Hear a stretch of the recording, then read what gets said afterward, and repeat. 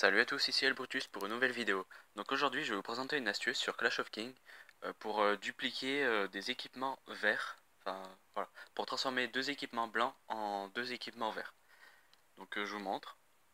On va dans la forge et on prend n'importe quel équipement et on va dans l'équipement, enfin on, forme un équipement niveau 10, c'est obligé, voilà. Donc je le prends. Là, je mets deux euh, équipements blancs euh, pour faire le marteau et un équipement vert. Et là, je mets un équipement de niveau 5. Donc ça va me prendre 1h43 pour le faire et 11800 d'acier. Donc je vais le faire. Et une fois que j'ai fait ça, euh, je vais dans la boîte de stockage, je vais dans les équipements, et on voit que j'ai un équipement euh, vert euh, de niveau 10.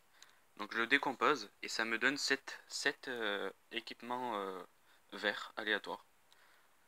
Donc là, voilà, j'ai eu tout ça. Alors que si on, on fait directement avec l'équipement de substitution, on en a 4. Donc euh, ça fait euh, un grand bénéfice. Donc voilà, c'était tout pour cette vidéo et à la prochaine.